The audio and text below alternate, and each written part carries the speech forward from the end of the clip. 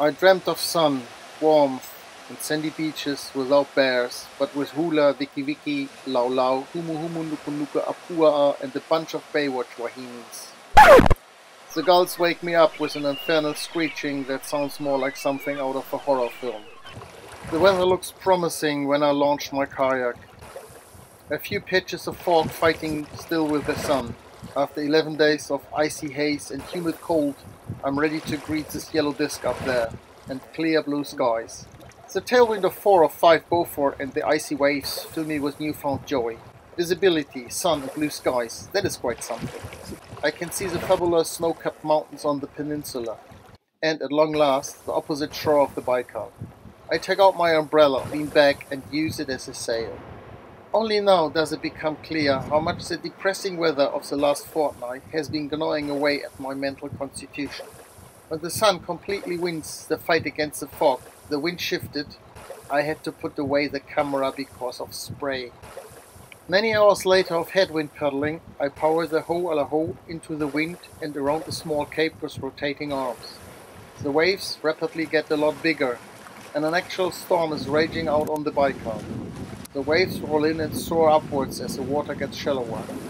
When around the bend, I'm greeted by a golden Hawaiian dream of a beach and a fisherman's camp, huts and tents dotted among the birch trees, pines and rhododendrons. Surely my luck must run out eventually. I beach my kayak and exhausted slam down on the golden yellow coarse clean sand that gently massages the soles of my feet. The wind is fierce and I look for a sheltered spot for my tent among the trees. I sprawl out on the beach and charge my batteries with a solar panel. Meanwhile the gale has increased and I thank my lucky stars that I'm here reading and lazing about instead of being stuck out on the water. A Russian picked me up and drags me into the nearest shelter, which turns out to be a kitchen. And before I know it, I'm sitting at a table with a steaming hot mug of tea in my hand. I have to grab it with both hands. I'm shaking so much by cold. I introduce myself and say thank you. Vladimir, as my new friend is called, just glances over his shoulder and points at the food. He is making bacon and eggs for me. No one can be that lucky.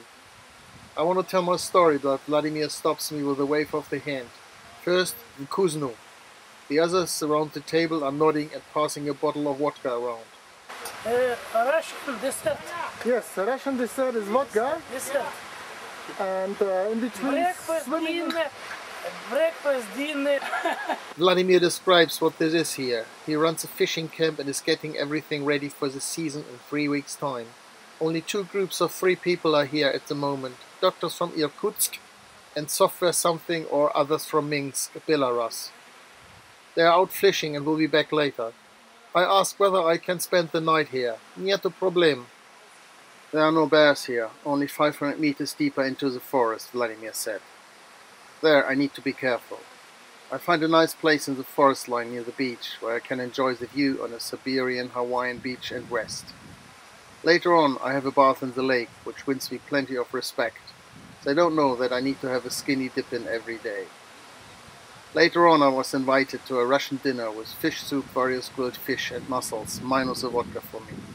I had to rest early. The mind is strong, but the body is weak.